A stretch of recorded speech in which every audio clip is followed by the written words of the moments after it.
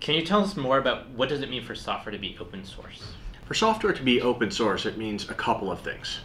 First, it means that the actual underlying source code to the piece of software is freely available, that people can acquire that from a, a website or off of a DVD or in some other form and see the underlying source code that makes up that program.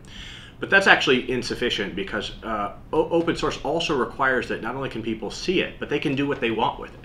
They can take that piece of software, make modifications to it, um, develop their own products based on top of that.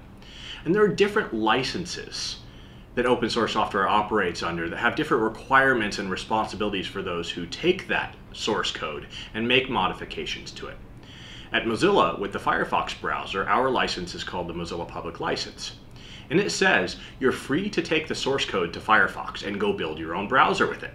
You can do whatever you want to that source code and you can turn it into, you know, Walmart Fox if you're Walmart and wanted to. And there's no requirement that you pay us for that, that you have any involvement with Mozilla.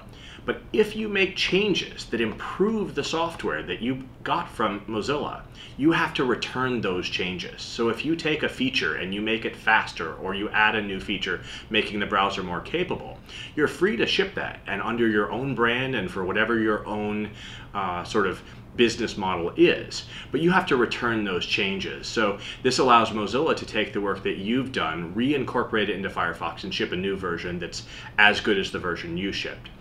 So different licenses behave in different ways. Our license is pretty generous in that it says you can take our product, you can combine it with other products, and you don't have to like disclose any of your proprietary information. You only have to return to the Mozilla project the pieces of our code that you altered.